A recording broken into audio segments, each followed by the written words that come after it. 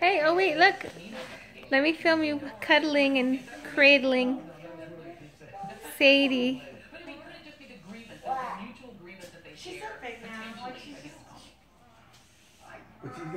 She's always been a big baby. She's the youngest of your daughters, of your grandchildren. Now you have great grandchildren, Dad.